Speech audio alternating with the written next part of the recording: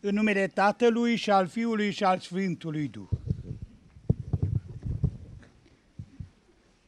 Atunci cei drepți vor străluci ca soarele în împărăția Tatălui lor. Evanghelia după Matei, capitolul 13, versetul 43. Preacuvioase Părinte Exarh, Preacucernice Părinte Consilier, Preacucernice Părinte Protopop, Preacuvioși și Preacucernici Părinți, Preacuvioasă Maică Stareță, Preacuvioase Maici,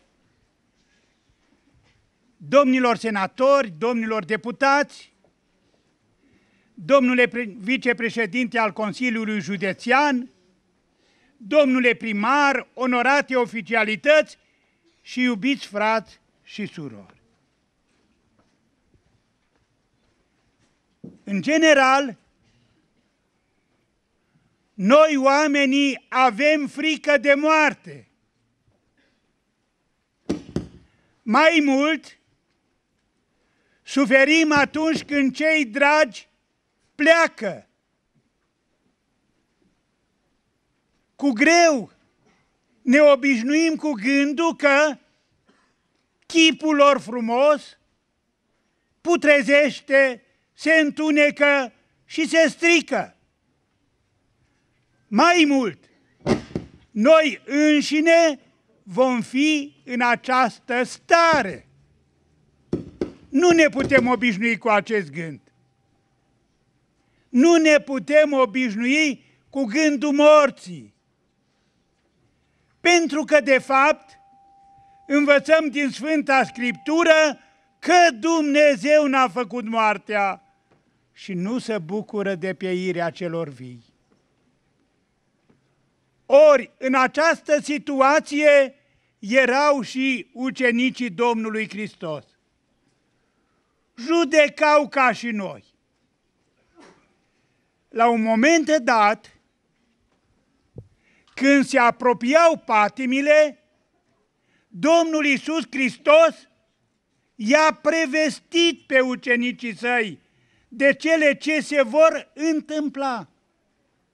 Iată, ne suim la Ierusalim și Fiul omului va fi dat în mâinile păgânilor care îl vor bajocori, îl vor răstigni, îl vor omorâ și a treia zi va învia. Și Petru, gândind ca și noi, i-a zis, Doamne, să nu ți se întâmple ție așa ceva.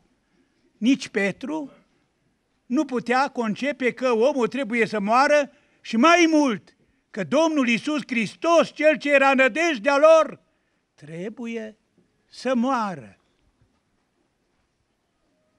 Și ca ei, ucenicii, să nu fie cuprinși de disperare, ne spune Sfânta Evanghelie a sărbătorii de astăzi că peste șase zile Domnul Hristos i-a luat pe trei dintre ei, pe Petru, pe Iacob și pe Ioan și i-a suit pe muntele Taborului.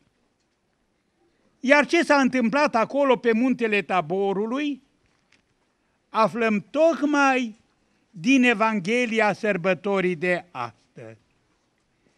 După șase zile, Iisus a luat cu sine pe Petru și pe Iacob și pe Ioan și i-a dus într-un munte înalt deoparte. Și s-a schimbat la față înaintea lor și a strălucit fața lui ca soarele, iar veșmintele lui s-au făcut albe ca lumina. Și iată, Moise și Ilie s-au arătat lor vorbind cu el. S-a făcut fața lui ca soarele și veșmintele lui s-au făcut albe ca lumina. De ce? Pentru că Domnul Iisus Hristos dorea să le demonstreze dumnezeirea sa, că patimile, momentul răstignirii și îngropării este trecător dar că sfârșitul este slava. Ori tocmai lucrul acesta doresc eu să-l învățăm noi cu toții astăzi la hramul mănăstirii de la Ilva Mare. Și anume să învățăm că toți ne vom schimba în viitor la față, așa cum Domnul Isus Hristos a schimbat la față pe muntele taborului. Deci, viitoarea schimbare la față a noastră a tuturor este o realitate pe care ne-o promite Domnul nostru Isus Hristos. De aceea și citim în Evanghelia după Matei, în capitolul 13, versetul 43. Drepții vor străluci ca soarele în împărăția Tatălui lor. Acesta este capătul drumului pentru creștinii care își pun cu seriozitate problema mântuirii lor. E adevărat că în actuala stare de lucruri pe noi, așa cum spuneam la început, moartea ne înspăimântă. Iată de pildă, dă glas acestui sentiment filozoful nostru, poetul nostru, Lucian Blaga, care zicea așa într-un aforism al său, adresându-se lui Dumnezeu. Doamne, oprește trecerea. Știu că unde nu e moarte, nu e nici iubire, dar totuși oprește ceasornicul cu care ne măsori destrămarea. Adevărul este că ceasornicul nu poate fi oprit și atunci ce ne rămâne? Ceea ce ne învață pe noi pe toți Domnul nostru Isus Hristos, că la capătul drumului nu ne așteaptă neantul, putreziciunea, stricăciunea, ci ne așteaptă schimbarea la față. Pentru a întări pe ucenicii săi în această convingere, i-a suit pe muntele taborului, s-a schimbat la față înaintea lor și și-a arătat dumnezeirea sa atât cât se putea arăta oamenilor. De aceea și troparul sărbătorii de, zice, de astăzi zice așa, schimbatul te-ai la față în munte Hristoase, Dumnezeule, arătând ucenicilor tăi slava ta pe cât li se putea. Strălucească și nouă păcătoșilor, lumina ta cea pururea fiitoare, pentru rugăciunile născătoare de Dumnezeu, dătătorule de lumină, slavă ție. Aceste lucruri le credem, ele ne-au fost propovăduite de către Domnul Isus Hristos și de către apostolii săi.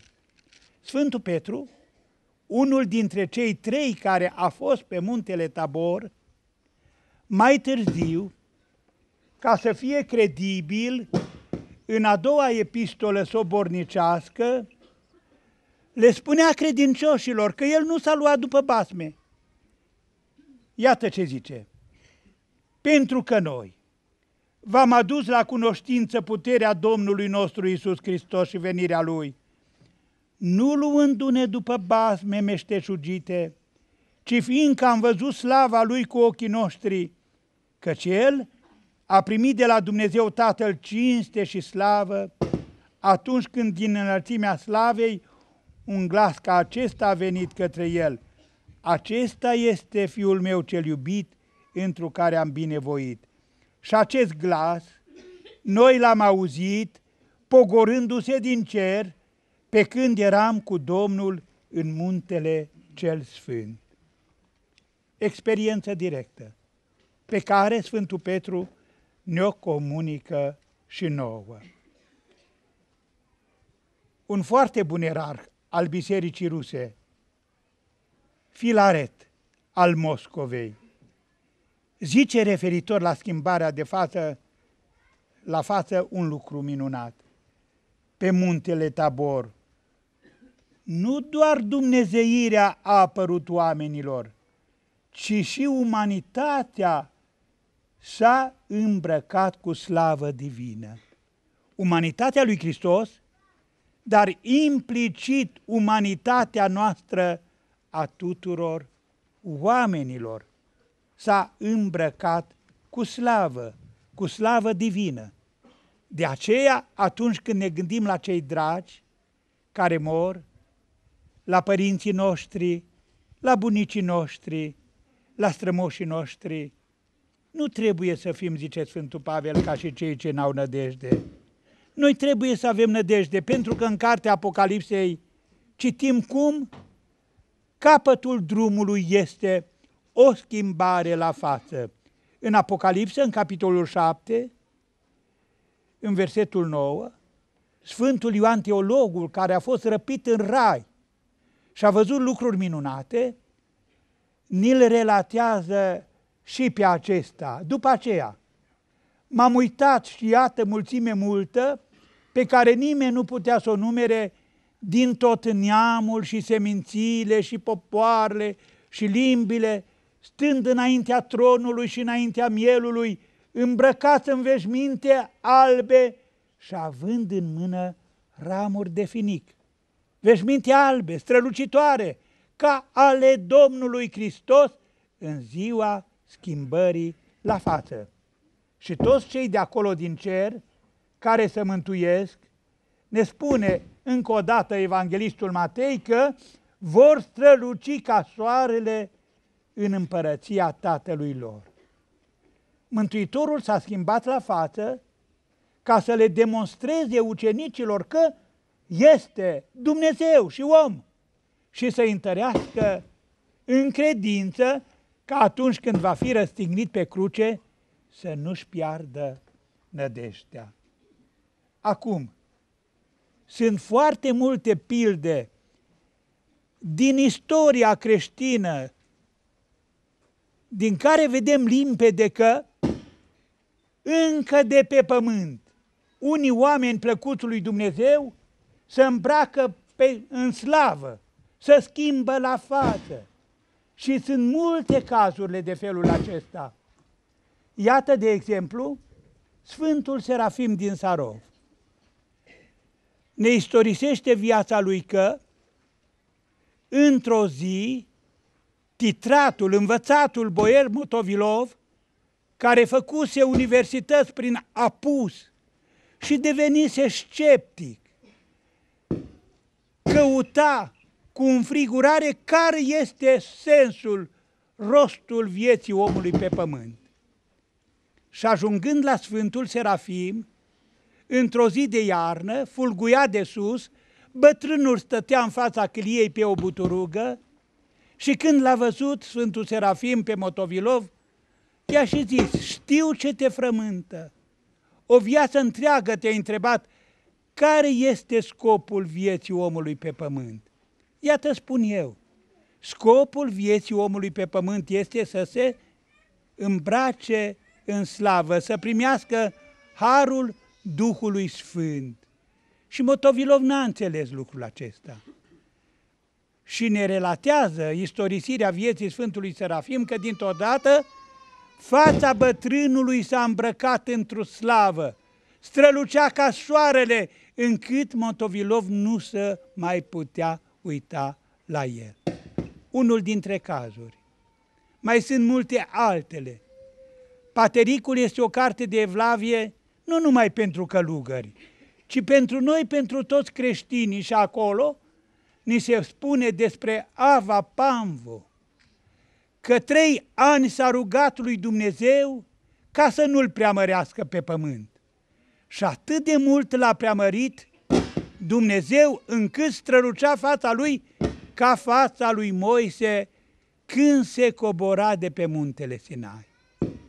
Dar, mai presus decât toți oamenii plăcuți lui Dumnezeu care s-au schimbat la față încă de pe pământ, mai presus decât toți, strălucește preasfânta născătoare de Dumnezeu în postul adormirii căruia ne găsim.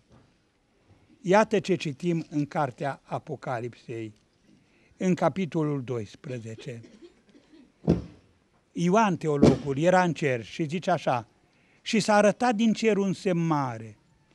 O femeie înveșmântată cu soarele și luna era sub picioarele ei și pe cap purta cunună de 12 stele. Maica Domnului, îmbrăcată cu soarele, cu luna la picioare și pe cap, având cunună din 12 stele. Gândul meu de astăzi acesta este. Noi toți, odată în viitor, ne vom schimba la față. Cei dragi nouă, care pleacă la Domnul, nu vor pieri, ci se vor preamări. Noi înșine, chiar dacă vedem făptura noastră suferind, cuprinsă de boli și de neputințe, și până la urmă coborându-se în pământ, să avem certitudinea că capătul drumului este îmbrăcarea într-o slavă. Aceste gânduri le-am meditat împreună astăzi când sărbătorim hramul mănăstirii de la Ilva Mare, schimbarea Domnului la față. S-a schimbat Domnul la față să întărească pe ucenici în credința lor, să le demonstreze Dumnezeirea sa atât cât se putea. Schimbatul-te la față în munte Hristoase, Dumnezeule, arătând ucenicilor tăi slava ta pe cât li se putea.